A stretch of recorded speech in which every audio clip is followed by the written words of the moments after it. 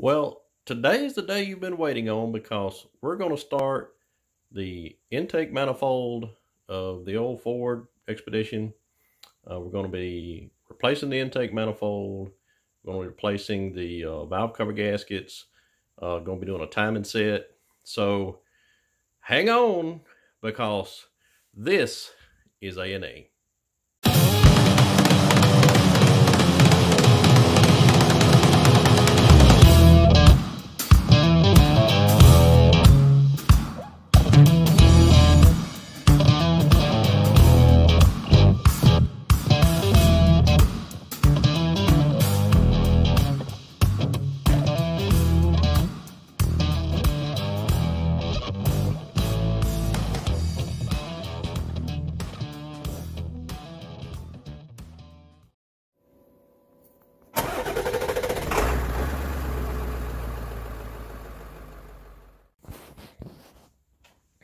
I want to get you guys in here and uh, just show you what the engine compartment looks like. Uh, I'm, I mean, it's, it's, there's all kinds of like wizardry and, and, and engineering gone mad up in this thing. I, have never seen so many hoses, cables. Ah, so basically what it amounts to, and I'm not going to walk you through everything I have taken off and I'm going to take off, but if it's mounted to the top of the engine, or the front or the side. It's got to come off. Otherwise, you're not going to have room to do what you got to do. Uh, battery's already out. Got the alternator sitting over there. I'm going to try and leave uh, this bracket that holds all these electromatic cables and such over here. I'm going to try to leave that alone. Hopefully, we'll have enough room over here. Uh, of course, uh, we've already taken the shroud and the fan out uh, alternators off. Um, took the power steering pump loose and set it off to the side. Um, everything you see basically on top of this engine, you see all those wires plugged in, tubes, cables, all that mess has got to come off. Um, so far, most of it's been, uh, you know, pretty, pretty easy to, uh, it's going to be pretty easy to put back on because, I mean, it's only one, one place it could go. The only thing I'm a little leery about is, you know, all these plugs and wires and such, and what order they come off. And if you take, you know, it's easy to take everything apart, but when you go to putting it back on, I don't want to skip one step, get everything on, and then realize I got to put it all back off because that hose won't go in there. So anyway, I'm just showing you where I'm at right now. It's going to take me a minute. Uh, like I say now, the professionals can do it a whole lot quicker. Uh, but I am not he. So this is where it's gotten to so far. So hang in there. I'll update you as I get a little further. Okay, I did want to clue you guys into one thing. Um, before you start, like, heavy disassembly of this thing, go ahead and you're going to have to drain the coolant system. So, show you what I did. Uh, the your your drain for the radiator is in the lower corner on the passenger side. Uh, it's it's better if you attach a tube like I have to it here um, to the little port. I don't know if you can see that. There we go.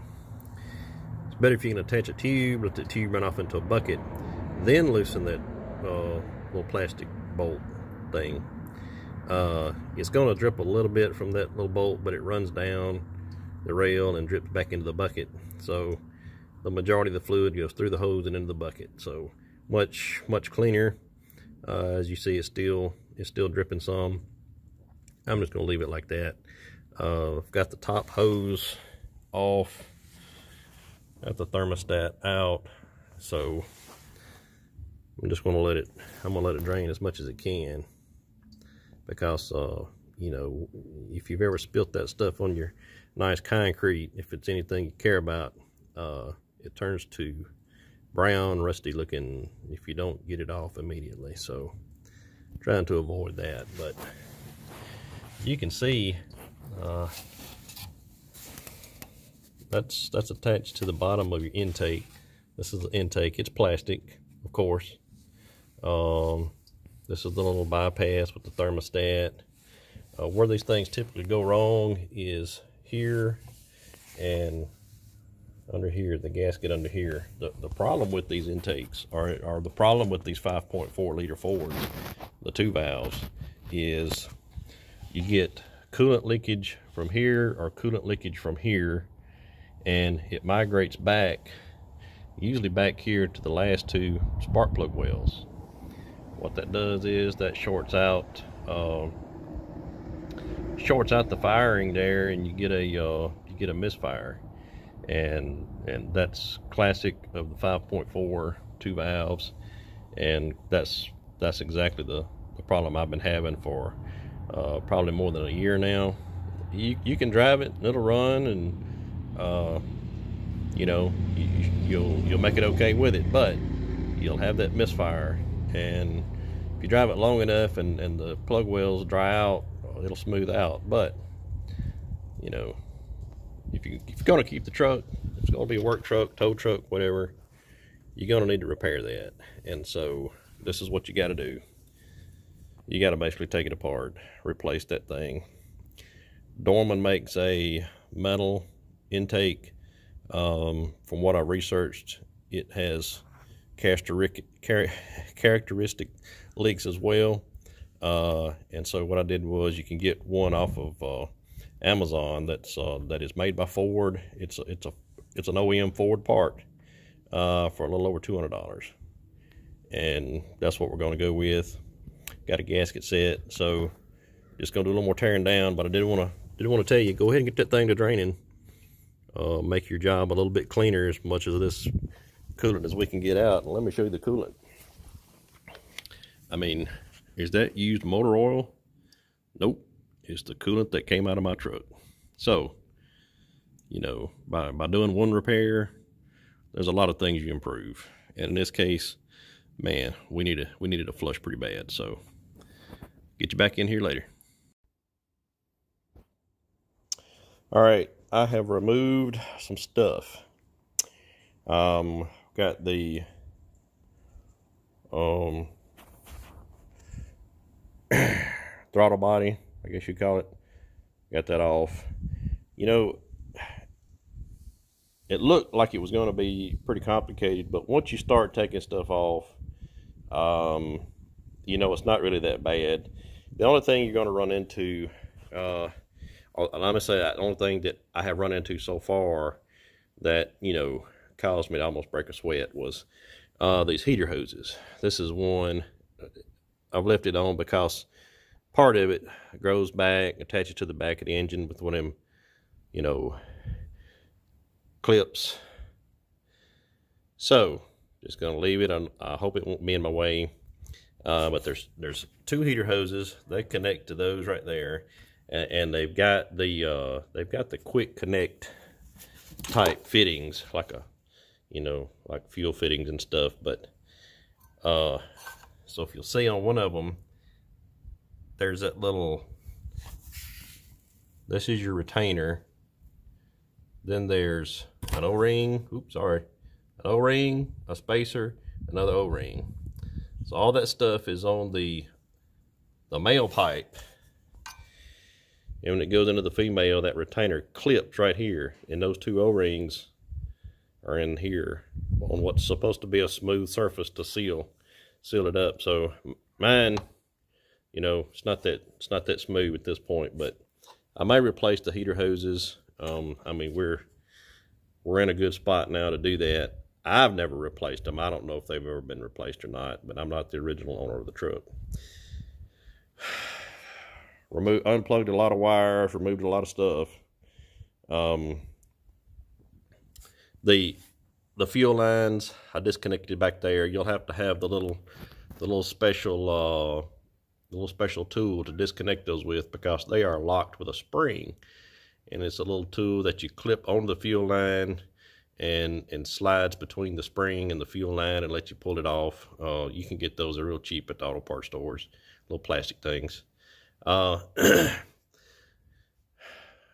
unplug all of your injectors and unplug all of your coils the light's kind of bad because the sun's in the wrong spot. Uh, these are coil overs which means there's, there's a spark plug under here. This is your ignition coil for this cylinder, and all eight cylinders have one of these.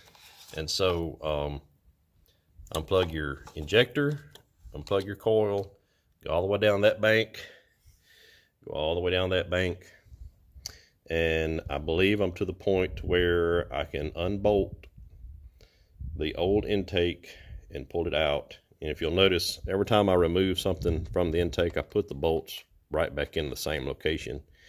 Uh, just to try to keep, you know, minimize the loss of fasteners and such. Um, unless you tag and bag every fastener, you're going to have some extra parts left over. Um, and you will also have some some that you can't find. It's just inevitable, man. It's, it's just the way it goes.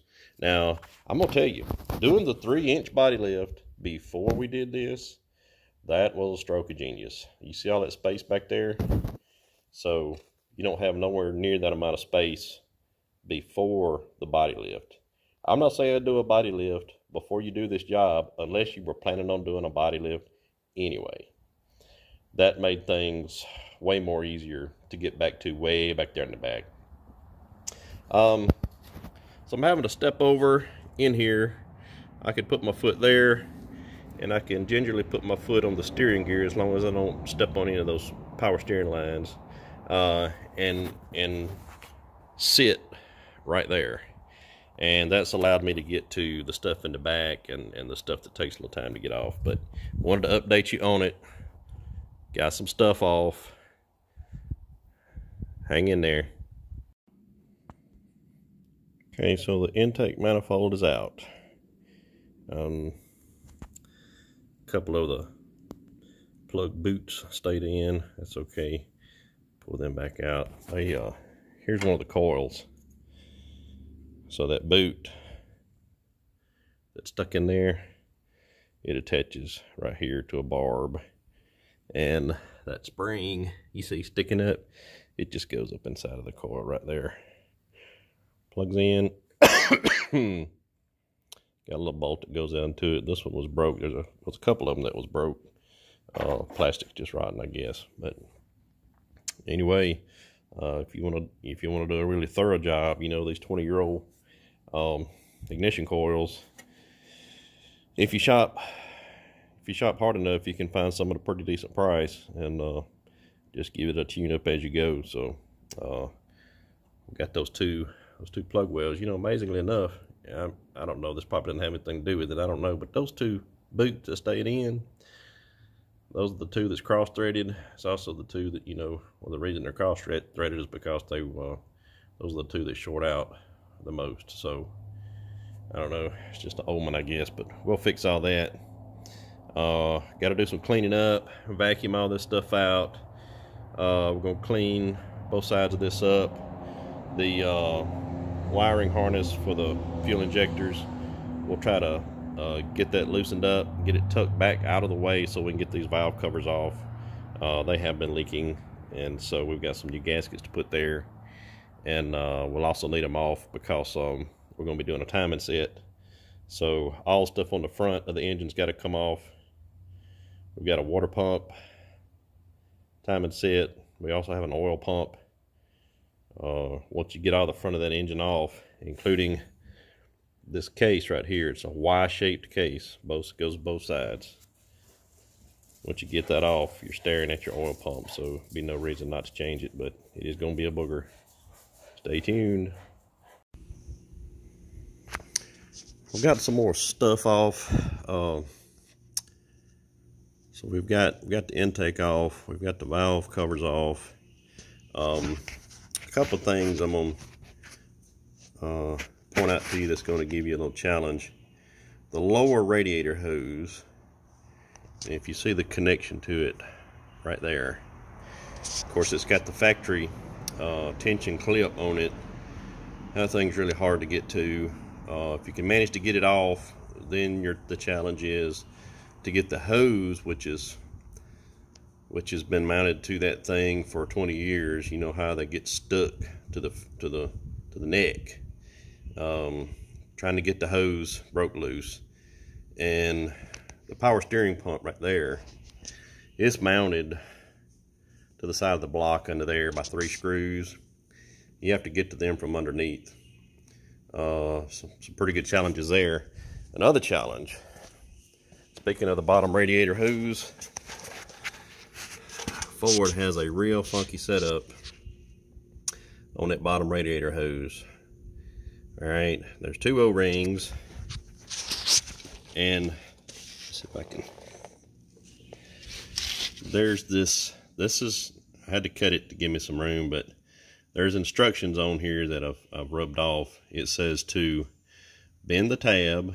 You see that little see that little tab right there, the little microscopic thing that you can't hardly see.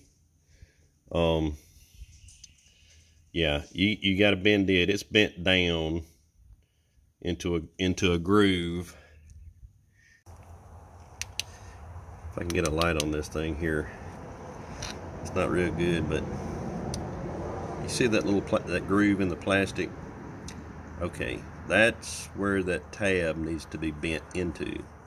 So once you get your microscope and you can find the thing, because you know it's not just clean and freshly assembled. It's been on there. It's got trash and oil residue gunk on it.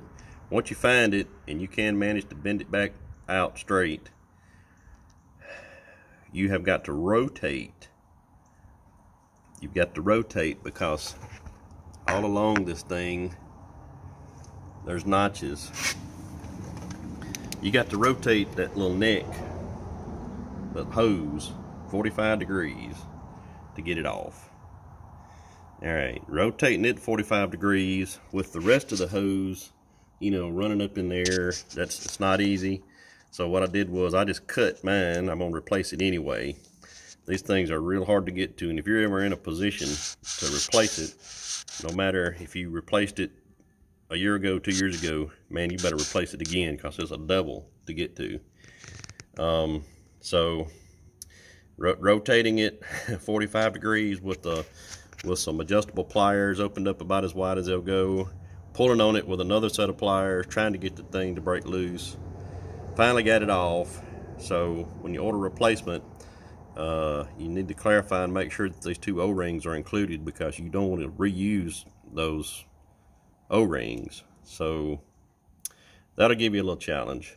Um, Another thing I'm not looking forward to is if I pull these heads, which I, I would like to do, um, these things have those hydraulic lifter, um, lash adjusters, you know, whatever you call them, that are prone to failure, especially this truck that has over 200,000 miles on it. I'd like to pull these heads, take them to the shop, and just have them gone through, lifters replaced and stuff like that. Um, my issue is this. What I'm thinking is I'm going to disconnect the exhaust pipe from the manifold right there. Um, if the bolts, if those break, you know, I don't think it really matters because what I would like to do is put shorty headers on this thing to give me some low end torque, some better low end torque. Uh, and I am not going to attempt to get those rusty header bolts off, I'm sorry, manifold bolts off with it in the truck here. That's, you're asking for nightmares. If I can get it on the bench to where I can kind of halfway clean those threads, soak it in some uh, uh, knocker loose or something like that, I might have a chance of getting those out. This, this pipe that goes up to the uh, up to the throttle body comes down here to this exhaust manifold and that doesn't look like it's just really wanting to come off either. So before I break head bolts loose to get these heads out, I first got to make sure I can get that thing off. And I need to disconnect exhaust manifold from the exhaust pipe. Take it back up top. I think everything else. I think everything else is disconnected. Um, course, we'll know when we start pulling the pulling the head off. Um, I think everything else is going to be okay. I hate to go this far into it and not have the heads going through um, you know, you could have you could have a cracked head. I mean, um, you know, if you're having a bit of a misfire, which we are. Uh, now these these engines are classic for the like I showed you earlier, the intake manifold leaking, um, intake manifold gasket leaking. Um, that's usually the problem. But let's say we get all this put back together and I still have a miss. It's a chance that one of my heads is cracked, um, or it's a chance one of my valves are bad. Plus, you know, this this truck burns. It burns about a quart of an oil between oil changes, which is really not that bad. Uh, you know, I don't think it's worth pulling the engine and tearing into the engine as far as you know rings and honing the cylinders and all that but uh, you've got valve stem seals if you've got some oil leakage past those seals then it's a chance that that could be where some of the oil loss is so I mean there's just a number of things and then those oil those valve stem seals are just rubber uh, so after 20 years in this hot engine, I'm sure they're probably brittle, if they're even still there. So I'm really, really wanting to get those out. Of course, before we pull the heads, we have to get the front of this engine off, or front of this, uh, this cover, accessory cover, and it's also your timing cover. Get all that pulled off. Get the timing set removed. Then we can look at uh, getting the little engine picker over here putting some straps on it and uh, trying to get those heads out. I, am not even going to attempt to crawl over in there and trying to lift it up by hand. Um, I don't want to damage anything. I want it to be a nice smooth removal. And these, this model Ford, you can't take you can't take all that front stuff off like you can on the on the later models. You know, all this stuff right here, you can unbolt and remove all of that. And the, the engine compartment is wide open for you. And you have all kinds of room. I mean, you can just step over in there and you can reach anything you want to. This one's not like that. Um, you can't unbolt. You can't unbolt this front piece of the frame here. So it's there. I am going to remove the radiator uh, for two reasons. Number one, to give me just a little more room in here when I go to break that bolt. Uh, on the crank right there. Um, I'm on. I'm gonna need a little more room for my impact wrench, and uh, two, it's gonna be easier to install my electric fans on the, on this radiator if I've got it to where I can lay it down on a flat surface. Um, for us old guys, I'm gonna I'm gonna recommend go ahead and remove your front wheels. Jack it up. I got two sets of jack stands on each side. If you'll remove your front wheels and remove that splash guard that's in these uh, wheel wells. Um, you don't have to. I'm just saying for us old guys, you know, like to take a seat every now and then and work on something. You can still get access, better access, to this side of stuff. Next step is going to be, uh, I'm going to spread some, uh, spray some knocker loose on that, and try to get that, try to get that broke off. Um, then I will probably go ahead and remove that exhaust pipe from the exhaust manifold. Going to get the radiator out. Um, and then at that point, I'm gonna try to I'm gonna try to lift the heads up and get them out of here. I'm gonna get them to the head shop and the fuel injectors I'm going to send them off for uh, for servicing. Um, there's a place that you can send your fuel injectors. Uh, you can send them off. They'll put them on a machine and they'll test them before they ever do anything to them. All right, so my, I've got my injector laying out here, um, trying to trying to let all the gasoline evaporate out of them and what have you. So I'm going to send them off to have them rebuilt. Um, the place I'm sending them they uh, they'll do a bench test of them to see what the performance is on each one before they before they actually do anything to them. Um, they'll put them through the uh, you know they'll put them through the uh, whatever you call it the sonic cleaner or whatever get all that mess off. Uh, they'll replace replace all the O-rings, caps, Uh, once they get done with them, they will put them back on the tester. Uh, they'll run a test again to uh, compare the performance of, of all of them after they've been been cleaned and and refreshed, and you'll get a copy of those reports when you get your injectors back. Um, that's actually better than just going out and buying new injectors because buying a new injector doesn't mean that you're buying one that has a perfect spray pattern. Uh, that you're that you're buying one that's uh, that's not going to give you issues right away. So I'd rather spend you know a smaller amount of money and have these tested, um, refreshed, and sent back to me so I know exactly what what I've got. Uh, if you don't have a good spray pattern, if you've got a weak a weak injector, you know that can give you problems also. So highly recommend this. I've done it before and I've been very very pleased. Uh, so these are laying out here, trying to get, let the gasoline evaporate off of them.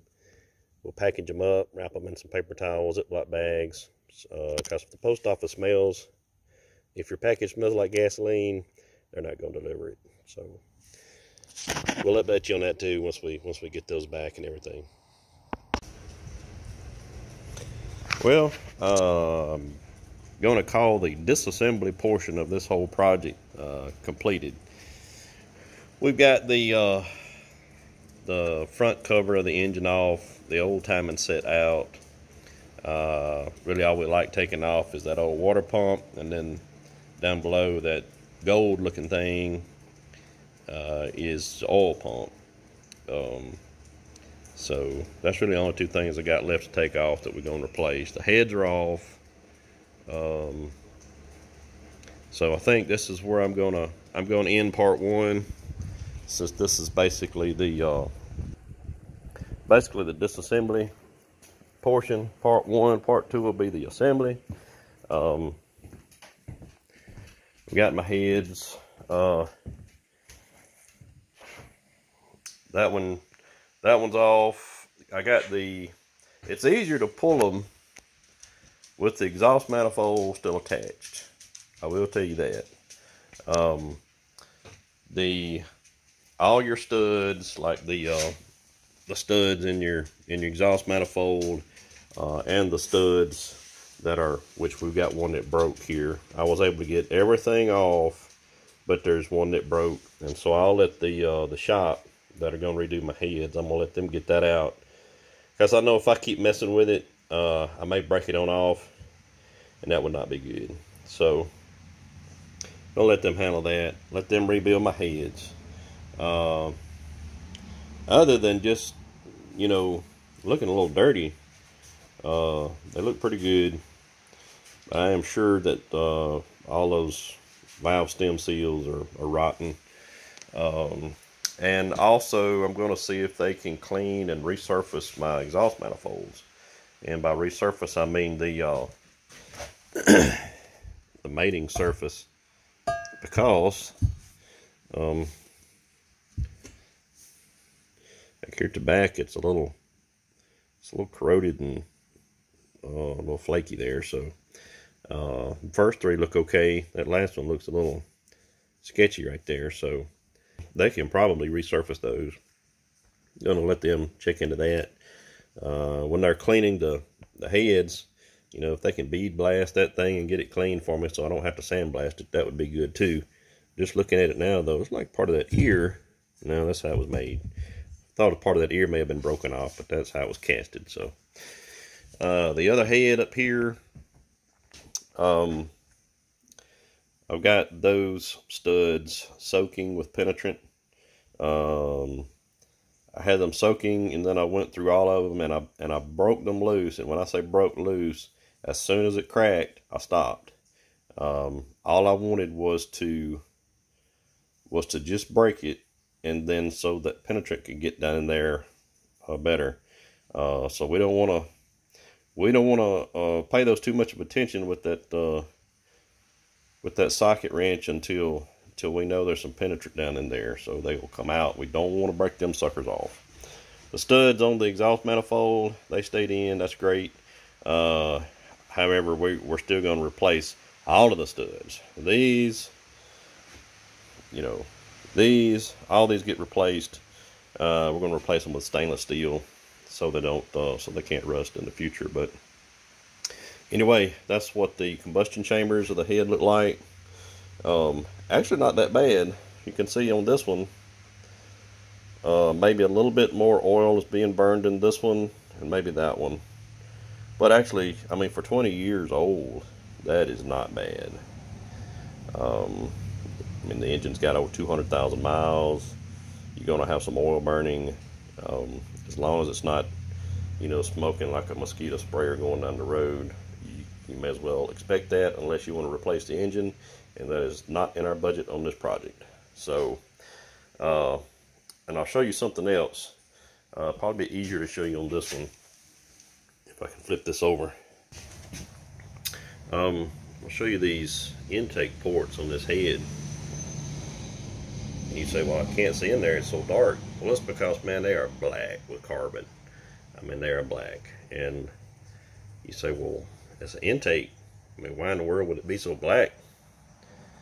If you've ever heard of your EGR valve, exhaust gas recirculation system, computerized. It takes some of the uh, gases that coming that's coming out of your exhaust pipe. This is burned fuel. It takes some of those gases and recycles them back through your intake with your with your fresh fuel and air mixture. It's a sensor in there that reads if there's unburned gases in the exhaust, blah blah blah. Anyway, what you get is a lot of carbon buildup in your intake ports of your head. You can see the valve set, shiny thing down in there. That's your valve stem. That's your uh, intake valve stem. Um, anyway, so yeah, lots of carbon, lots of carbon. Now you can delete the EGR valve on engines. You can on this one. Uh, and it's not just getting a plate to cover the hole up. Whatever you've heard, whatever you've tried, whatever you've seen, um, it may work, it may not, but in order to delete your EGR system on your vehicle, uh, you have to, your computer has to be retuned to not look for the EGR signal. Uh, there's some sensors in there, and I can't remember the name of them right now, but um, you're wanting to delete the EGR system to to avoid the carbon buildup in your engine and hopefully make your engine run better. You can only do that if you properly delete the system and that's not only removing the components that affect it and plugging holes but that's retuning your engine your program that runs your engine computer to not look for the EGR system that's my spiel so uh, as soon as I get that exhaust manifold off, and I'll probably do that later today because, you know, just let it soak. Don't get in a hurry. Um, get that off. We'll probably load these up, take them to the head shop. We've got our fuel injectors on the way to Mr. Injector. You can find him on the internet. Uh, does a phenomenal job of testing, then cleaning, then retesting. Uh, so if you, if you want that service, look him up on the internet. It's a it's an awesome deal. This will end part one. So part two, we're going to be hopefully putting back together, and can't wait to get the finished product to show you with new exhaust, new wheels, new tires, and uh, be glad to share that with you. Have a good day. Thanks for watching. Please subscribe, give the thumbs up, comment. Um, we're in bad need of subscribers, bad need of comments. Uh, spread the word. You got any people that like to work on this junk? Let them know about us. Um, you know, it takes a it takes a lot to to do a project when you're when you're trying to record the progress and do these videos, and the the videos themselves are uh, it's a lot of work to get them up on the internet, especially if you don't have a high-speed connection. So uh, help us out, spread the word, see if we can't get some subscriber numbers up. Thank you. See ya.